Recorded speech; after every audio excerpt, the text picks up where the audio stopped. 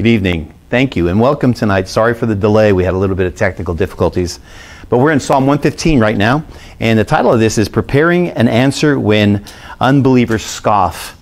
Uh, psalm 115 is the third psalm in what are called the Hallel or praise psalms. And we've been talking about those from Psalm 113 uh, through 118.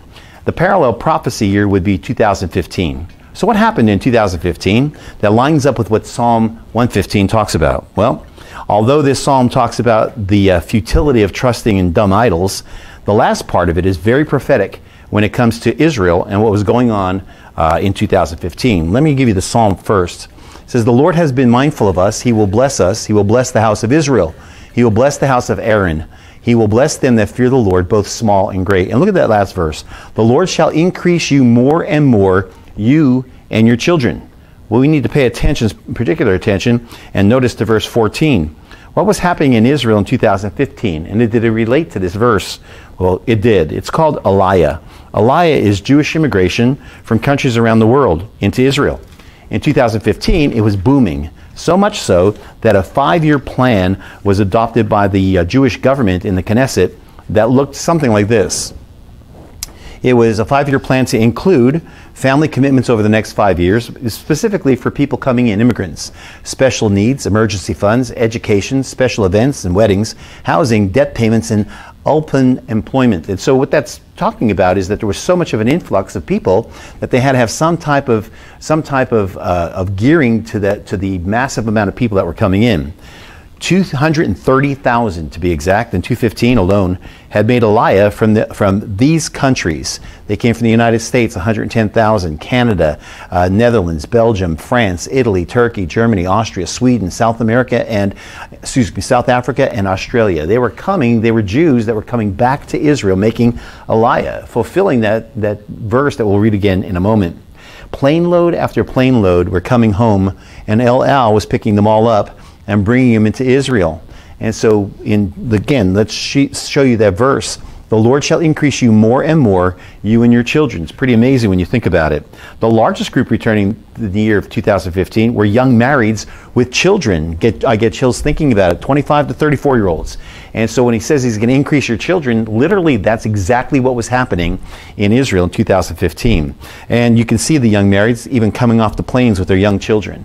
So it's pretty amazing to me. Again, I get a little goosebumpy when I think about how, how powerful the scriptures are and how they align right up to those, to those years. So, and women who also could bear children, obviously. Uh, uh as a matter of fact, in 2015, Israel was among the top 10 nations worldwide uh, for women leaving their own countries where they were born and coming. Here's, here's a chart that shows you that. So you'll see all the way down to Poland, but you'll look at that little yellow dot over there. If it's pretty hard to see on the uh, on the map, but down in there, it's Israel. Israel is definitely down there in in them coming home. So when we look at the uh, actual uh, Psalm 115, it perfectly and prophetically parallels with 2015. But tonight, we live in a skeptical, critical world, a world not sure of faith, a world not sure of truth and spiritual things, a world of scoffing unbelievers. Obviously, I hope you became a believer in Psalm 115 in 2015. The, the uh, statistics show it and prove it that they are paralleling those years. But there's people who scoff at things that are biblical, not just those things, but things that are biblical. So, what can we say when God seems to be absent or silent or both in our lives? And what happens when, in the midst of suffering and tragedy, God doesn't act according to our expectations or our plans? What do we say to people when we have assured them that God is real and that He will provide for us, and then the evidence doesn't seem to back up our claims? In short, what do we have to say to scoffers? Well, this is our outline tonight Psalm 115. Uh, it's, it's uh, preparing an answer when unbelievers scoff. So, who are you going to call? Verses 1 to 8. So, who are you going to trust? Verses 9 to 11. So, who's going to bless us? Verses 12 to 15. And so, who are you going to praise? Verses 16 to 18. So, let's start with the first part of this. Who are you going to call? Not unto us, O Lord, the psalm starts out. Not unto us, but unto thy name give glory, for thy mercy and for thy truth's sake. Wherefore should the heathen say, Where is now their God? But our God is in heavens. He has done whatsoever He has pleased. That may mess up a couple people, but He will do whatever He wants to do. Uh, their idols are silver and gold, the work of men's hands. So as we look at that, I remember, and you probably remember too, the movie Ghostbusters. And uh, obviously, their catchphrase was, So who are you going to call? Well, they were the only ones able to contain the ghosts of New York, the movie did, movie uh, portrayed. But this is no movie. Life is no movie. It's a real deal. And I love verse 1 of Psalm 115. Don't help us for our own sakes, Lord. Help us for your name's sake. You'll see that all over Scripture. God obviously does things for his people, but primarily, we talked about this last week, it's for his namesake, so that people can look at what he's done for you and glorify him. God gets glory by doing something for us so that people can get can give him praise for it. Let me look at in a couple other verses of scripture. Uh, uh, let me before I do that, let me read the rest of that first part. They have mouths talking about the idols, but they speak not. They have eyes, the, uh, the dumb idols, but they see not. They have ears, but they hear not. Noses they have, but they smell not. They have hands, but they handle not. Did you notice it's the five senses? He's talking about the five senses, which is the parallel and the, is telling us, the juxtaposition is telling us that God has senses. He can, he can do all those things. Idols can. They have feet, but they walk not. Neither speak they through their throat.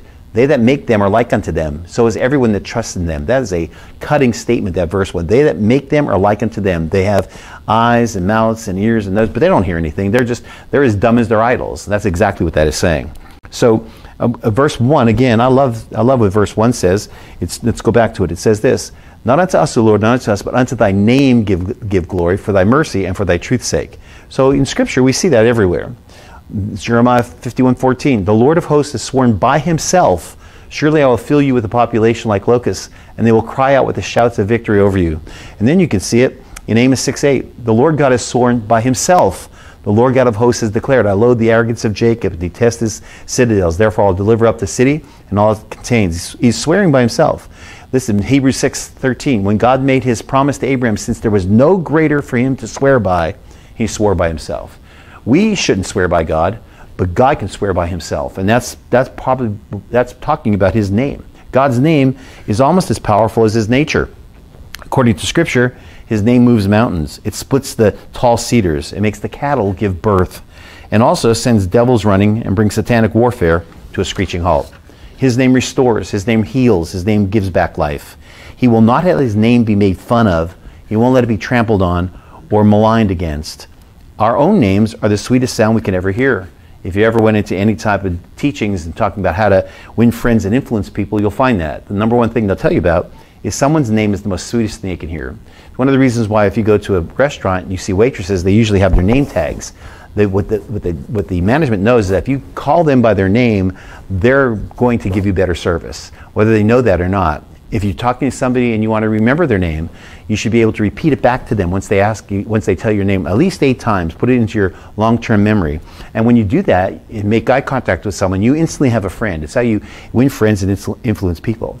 I remember going to a dry cleaner years ago, and uh, I hadn't been there in a while. And I remember the, the man came out and he remembered my name. I was so impressed that he remembered my name uh, because he probably has seen a lot of people uh, that it made me instantly feel I'm not going to go to another dry cleaner. Uh, I never thought that before, but it was just that contact that was there. Well, this is the same thing with God.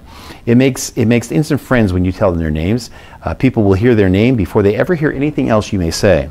So does God, and God loves to hear His own name. The Bible is a book of names of God.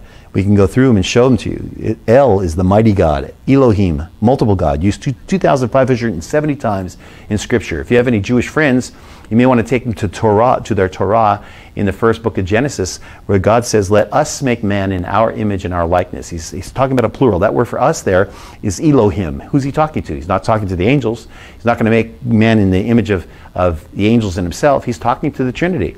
Let us make man. El Shaddai, the all sufficient God. Adonai, Master or Lord, used 300 times. Always plural, by the way. Adonai is always a plural form. Jehovah, the Lord, Yahweh, used 6,823 times in Scripture. And you know some of these names Jehovah Jireh, provision. Jehovah Rophe, healing. Jehovah Nisi, our banner. Jehovah Mekadesh, uh, sanctification. Jehovah Shalom, the Lord our peace. Jehovah Elohim, the Lord our God. Sidkenu, the Lord our righteousness, Rohi, the Lord our shepherd, Shema, the Lord is there, Jehovah Sabaoth, the Lord of hosts, and El Elyon, Most High, and Abhir, which is Mighty One. It goes on, Scripture. I can spend all night on it. Kadosh, Holy One. El Roi, the Seeing One, or God, uh, excuse me, King God. Cana, the Jealous One. Pele, the Deliverer. Yesha, Savior. Gael, Redeemer. Magen, Shield. Uh, Magan David is the shield of David. That's the Star of David. Magan actually means a shield. Uh, it's a name for God in the Old Testament. Ialuth, the God of strength. Sadiq, righteous one. El Olam, and I love that one. The God of the vanishing point. You've heard me preach this probably and teach it before if you've heard me say anything. If you're an artist, and you're trying to get perspective and you want to draw a train, you draw big over here, and then you put a point over here, and you bring those two lines down to that point, and it's a vanishing point. It means the God, El Olam is the God of the vanishing point. As far back as you can imagine, God is there. As far back in the future as you can see, God is there. El Berith, the God of the covenant. Uh, El Gibor, the mighty God. Zur, God our rock. By the way, that's used when it's talking about circumcision. Uh, it talks about when Moses wouldn't circumcise his son uh, his wife did it, and it says that she uses the rock, Zur, uh, Atik Yomin, it's Aramaic, the Ancient of Days, Melech, king. And then the New Testament, Kurios, Lord, Despotes, Lord, Theos, God, I am, Tetragrammaton, Theotes, Godhead, Hupsistos, highest, soter, Savior, Jesus, Yeshua, obviously, Christ, anointed one, Logos, the Word of God, Alpha and Omega, first and last. So over 7,836 times in the Old Testament and the New Testament is the word Lord used. Matter of fact, the Bible is a book of God's names. His name is used over 12,000 times in the entire Scripture. So God loves His name. And if you really read your Bible, you'll start seeing the progression of God's name. He'll say He wasn't known by this to Abraham, and He wasn't known by this. And He keeps giving us His names as we continue to progress in Him him. By the time we get to Revelation, and I'm getting way off for study tonight, by the time we get to Revelation, you will see the new name of God that nobody even knows yet. And so it's a, it's a, it's a revelation to us of who He is. The more you know someone, the more familiar you get with them, the more have the intimacy of their names. And that's what this book is about. In, in um, verse 2, it tells us something. Let me go back there. It says this. It says, uh, Wherefore should the heathen say, Where is now their God? So we're talking about his names and the heathen is telling is asking about where is their god it's it, it, this is, is, is scoffing of unbelievers uh, saying that yes they are where is your god they're saying it all the time so where's their god they say people still scoff at where god is where was he when hitler came to power and killed six million Jews? Where was he when AIDS devastated Africa and went all over the world? Where was he in World War I? Where was he in World War II? Or when famine devastated China and India? or due the COVID, the, the COVID epidemic. Uh, where was he last week when you needed an answer to a prayer? Look at verse 3. It says, But our God, but, notice that word, but our God is in the heavens. He has done whatever he is pleased. So it's an answer to the scoffers, and it may, it may hurt us to say that, and we may need to, to understand that. It's a tough to swallow, but if we don't, we'll never be faithful to our God. If we don't trust him, even when we don't see him, we'll never be faithful to him. The Bible says, He's in the heavens. He has done whatever He has pleased. One of the things that I think about God is really contrary to my own nature. If I were God, I'd show myself to everybody. If I were God, as soon as somebody said something about me, I'd wipe them off. I'd put my thumb down and wipe them off the face of the earth. If I was God, I'd want to prove myself because human nature is to prove yourself. It's the total opposite with God. You can see Jesus in the parables. What he's done, he's say a parable, and it's kind of mis- uh, mysterious, and people have to really think. He's drawing people into himself. He's not trying to prove anything. He's trying to get people to use their faith. God's not trying. That's the statement. He's in the heavens. He has done whatever he has pleased. So there's a lot of people who question God. Why does he do this? Why does he do that? That verse right there is a verse of faith, a verse that you have to accept by faith. In verses 4 to 8, it says one more time, their idols, their idols are silver and gold, the work of men's hands. They have mouths, but they speak not. Eyes they have, but they don't see. Ears they don't hear. Noses they don't smell. Hands and, and uh, that handle not. Feet but don't walk. Neither speak they through their throat. They that make them are like unto them. So is everyone that trusts in them. Now remember the juxtaposition here. We're talking about God, our real God, and we're talking about dumb idols. And we're talking about how God's in the heavens will do whatever he wants, but the dumb idols, they can't do anything. Even though they're on earth, they can't do a thing. In the midst of God's apparent inactivity, and that's what it is, the psalmist says, okay, so what if our God seems like he is not responding? Show me how the gods of you serve respond. They don't.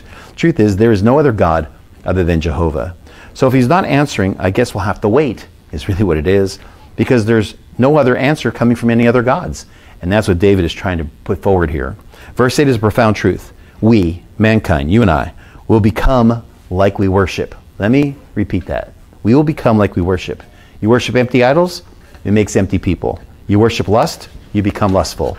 You worship pride, you become prideful. You worship money, you become greedy. You worship ego, you become egotistical. You worship looks, and you become narcissistic. You worship God and you become godly. So this brings us to our second point. So who are you going to trust? Verses verses uh, 10, 9 to 11 tell us, O Israel, trust thou in the Lord. He is their help and their shield. Magan, by the way, that word for God. O house of Aaron, trust in the Lord. He is their help and their shield. Ye that fear the Lord, trust in the Lord. He is their help and He is their shield. A tripart message of trusting and of God being a shield. So who can we trust tonight? Well, you can trust this. That's the Dow Jones. Right now it is soaring, going back and forth a little bit, but look at the precipitous rise uh, from 1900s all the way to 1910. That's only to, to, excuse me 2010, and it's even further up than that. But you'll notice that there's some pretty good dips in that. Uh, there's a lot of people who trusted in the 1920s called Black Tuesday, 1929, where people died and jumped out of buildings because they lost everything. So you can trust you can trust the Dow, but it's pretty it's pretty stable, isn't it? Not really. Um, mortgage rates are low right now, but what about a year from now? What about if hyperinflation hits? So maybe you want to trust Treasury bills. Well, they're also on a rise from since 2016, but they're also going right down in 2020, losing their interest. Treasury bills bear interest over five, ten years, and you, you get money from those Treasury bills. This is a three month Treasury bill. It's called a secondary market. And you could trust that, but you're not getting a whole lot of interest. And even now, those interests are plummeting. So, can we fully trust maybe your government and your leaders and how they spend your tax dollars? public, total public debt versus our GDP, gross domestic product when you go in debt, let me just give you a quick economic lesson. When you go in debt as a government, you have to have goods so you can get out of debt and so you can sell it. When your gross domestic product, when your goods drop and you're in debt, you're in trouble because you can't sell anything to get that out of that debt. And this is what's going on. Our spending is that is that red that you see, and then the budget deficits is that is the uh, is the other the dotted red down on the bottom, and then the revenues are there. You can see that our budget deficit is above our revenues, our spending is above our revenues. That's one of the reasons why America is in such trouble. Almost $27 trillion of debt right now. So you can't trust that, or maybe you can just trust our, our money. Doesn't it say in God we trust? I actually, you know, people fought to have that in there, and I think it sounds good, but I wish it wasn't on the dollar bill, to be honest with you. And it's not because I'm an atheist. I believe in God, but I don't want to put God and money on the same plane, on the same uh, on the same page or in the same same uh, bill, because that doesn't tell you you trust in God. That tells you that that you're trusting in money. The word trust in Psalm 115 is the Hebrew word for secure, to be unconcerned. That's what it means. Things are happening around you, but you're unconcerned. Wow. It's like a hands off attitude. Even though things are happening and God's in the heaven, my hands are off it. He's how concerned are you so how concerned are you for your children? Well obviously the answer is we're very concerned. Are you concerned enough that you trust god and you can take your hands off of them no matter what's happening to them? I know it's touching people today. Some of you have children who are unsaved. You have to trust god with those people. You have to with those children. You have to trust god that he's going to bring a voice to them that's not your voice. Maybe it's another voice telling them about him. How concerned are you with your finances? Now obviously we should be some concerned with all these things but isn't it ultimately in god's hands Shad and I were just talking yesterday about finances, weren't we, Shad? And we said about when you trust, you could trust, you could trust the government, you could trust yourself, but ultimately our trust has to be with God. How about your well-being? How about your health? How about your happiness? That the that's uh, that's the the the. Can you trust that the dollar will be stable over the world? Of course it won't. Do you worry? Well, worry will make you. I preached once. Worry will make you a coward and a cheat. It's like rocking in a rocking chair, expecting to get from one room to another. You're not going to do it. And so basically, what we have to do is ultimately trust God. The, look at Matthew chapter 6, verse 25. It says, Therefore I say unto you, take no thought for your life, what you will eat, what you will drink, nor yet for your body, what you shall put on. Is not the life more than meat, and the body more than raiment? Man, that goes totally against the survival attitude we have tonight, doesn't it? Uh, because we're trying to say, God's saying, trust me. Jesus says at one point, don't even worry about tomorrow. Sufficient is the evil of today. He's really telling us, get through the day. He's telling us, trust your Father today. And that's really what it's about. Why do you think manna only came every day and then rotted by that night? It's so that they could trust Him again the next day for manna. And so it's a principle of Scripture that we have to daily trust God. Man, I hope you're getting as much out of this as I am in giving it tonight. Notice the three groups mentioned here. It says, O Israel, I have them in different colors so you can see the re- repetition. O Israel, trust thou in the Lord, he's their help and their shield. O house of Aaron, trust in the Lord, he's their help and You that fear the Lord, trust in the Lord, he is their help and their Israel, the house of Aaron, which were the priests at that time. Um, these, those were the bridge builders to God. And then us. And the threefold promise to each group our help and our shield is there. Literally, the one who pulls you in from any trouble, or the protect the one that protects you by stepping in front of you. That's what a shield does. A shield steps in front of any arrows. So when it says he's our shield, it means no matter what's coming at you, no matter what your fear you have, trust God, your shield's going to work. If I went to war and I had a shield made of paper mache, I'm not going to trust in it. If I had a shield made out of tissue paper, I'm not going to trust in it. But if I have an iron shield, I'm going to go to war. That's going to help me. The Roman army defeated the world by having shields and doing something with them. It's called a turtle. Somebody would fire down on them, arrows would fire down, and they get into a shell and they would look just like a turtle. And all over that entire encampment, not, no arrows would get through. And so they were able to defeat their enemies. And so that's what God is telling us here that you, He is our shield. Again, the shield word, the he, Hebrew word is magin, the one we can place all of our cares and concerns behind, like the Magan David. That's the shield of David. That's the Star of David, also called the shield of David. Or I like to do this one. The cross is our shield. It shields us. So we will forever be reminded as we sing this psalm in the millennium, and by the way, you will sing it in the millennium, that we made it in and we made it to God. Whether we're a Jew who's, who's accepted Christ, a priest, or a Gentile that have been saved. Because the Lord fought our battles. He pulled us in and protected us. But sometimes we don't see that happening in our everyday battles, do we? Uh, sometimes it feels like no, no one's helping us at all that no one's protecting and that no one's coming to our aid. I don't want to just give you promises of Scripture without the reality of your life because I know that that happens. The unsaved think it's hogwash to fully trust a God we can't see. But just because we can't see Him doesn't mean we can't hear Him or Him hear us. You see, we can hear God, but we may not be able to see Him. But unlike a dumb idol, He sees us, He hears us, He feels our hurts, He walks in front of us. Man, He even walks behind us. Isaiah tells us that. The Lord will go before you. The God of Israel will be your rear guard. He's in front of us and behind us. Here's your promise tonight. Isaiah 58 5. Then, 58 8, excuse me. Then shall thy light break forth as the morning, and thy health shall spring forth especially, speedily, and thy righteousness shall go before thee. The glory of the Lord shall be thy re reward, or go behind thee. I call it the promise sandwich. Your righteousness will go before you, and the Lord will go be, will be behind you. So, what we're talking about tonight is a promise sandwich. Righteousness and God's faithfulness goes before you. Inside is your personal restoration, maybe your health, or maybe an answer to any prayer. And then after you is the glory, God's heavenly ble- heavy blessing, the re- reward, re-reward. So God's saying, whatever your need is, I'm going to I'm to sandwich it on both sides, so that you can you can rest in that in that in that answer. Let so tonight, there's your sandwich. Let's eat it up for a moment. And while you're chewing on that promise, remember the third point. So who's going to bless us? Well, Psalm again says this The Lord has been mindful of us. He hears us, He sees us. He will bless us. He will bless the house of Israel. He will bless the house of Aaron. He will bless them that fear the Lord. The same three things Israel, the priests, the bridge builders, and us, both small and great. The Lord shall increase you more and more. Remember that verse? You and your children. That's not just to Israel and the Aliyah, that's to us. You are blessed of the Lord which made heaven and earth.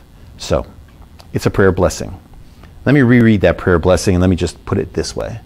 He will. You may want to read it with me wherever you are tonight, listening to listening to you in your uh, in your iPhone or your laptop or wherever it is. He will bless them that fear the Lord, both small and great. The Lord shall increase you more and more, you and your children. You are blessed of the Lord, which made heaven and earth. Now, there's a lot of replacement theology today which takes that and says it's only for the church. But I just read to you that's for Israel, it's for the priests, the bridge builders, and it's for everyone else. And so that is one that, that's for Israel and also for us. So you've heard of the prayer of Jabez. Uh, there's a prayer. Uh, there's one, recently a prayer of David. There's a prayer of Paul. There's a prayer of Jesus. There's a prayer of Moses. But here's one no one put into a book yet, but it's very, very powerful. We need to pray this prayer. When you talk about your finances, or when you think about your marriage, or your health, or your jobs, or your children. Think about those things that are bothering you right now and just listen to it one more time. He will bless them that fear the Lord. If you fear God, He is bound to bless you. That's His promise. Both small and great. You may think, well, I'm not, I don't have great faith. I have small faith, both small and great, whether it's great faith or small faith. The Lord shall increase you more and more, you and your children. You are blessed of the Lord, which made heaven and earth. So, let's believe this prayer with all of our hearts tonight as we repeat it to ourselves, maybe as you read it to yourself, which will bring me to my fourth and last point tonight. So, who are you going to praise? Remember what I told you? The only reason how He blesses you is so that He can get glory and He can be praised. So, this is a circular thing, it's a circular position. God wants to bless you who fear Him, but in blessing you, He's going to bless His name also. So, watch what it says. The heavens, even the heavens, are the Lord's, but the earth He has given to the children of men. The dead don't praise the Lord, neither any that go down into silence. But we will bless the Lord from this time forth forevermore. Praise the Lord. So tonight, to bless the Lord is to proclaim his glory. It's to praise his name. It's to speak of his miracles. It's to honor his word. I will bless the Lord. Look what it says. I will. We will bless the Lord. Look at that little word will. It's an act of your will to bless the Lord. You shouldn't do it because it's something churches do. You shouldn't do it because it's rhetoric or tradition. You should bless the Lord. It's volitional, it's voluntary. You should bless the Lord because you will to bless the Lord.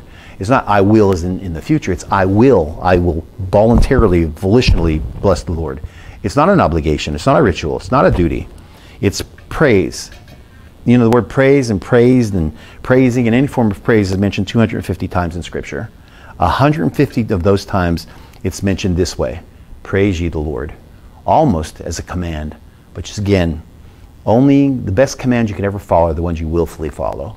And that's what God's asking you to do. Notice it says, ye and he. Praise ye the Lord. It's ye and he. That's what it takes. That's how we'll pray tonight as we close. From the rising of the sun until the going down of the same, the name of the Lord is to be praised. So let's pray. Father, I thank you tonight. I praise your name, Lord God, for everything that you have done for Mark Correll, for my family, Lord God.